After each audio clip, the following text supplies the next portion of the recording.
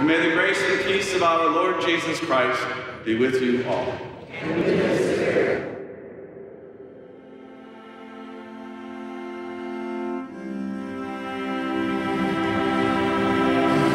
Come on, let's go. I heard you. Okay, I need you to get up. I was staying on the streets, having to beg from people to get them money so just so I could eat. And I don't want that no more.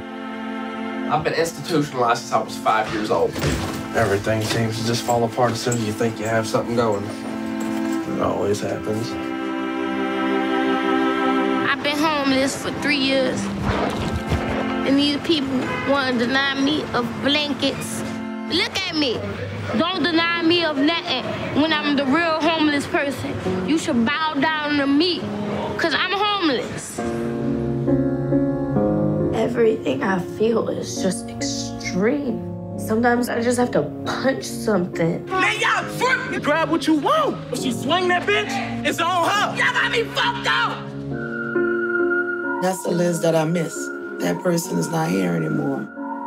I don't understand why I don't do the things that I need to do to be a normal person. You got any plans? Survive.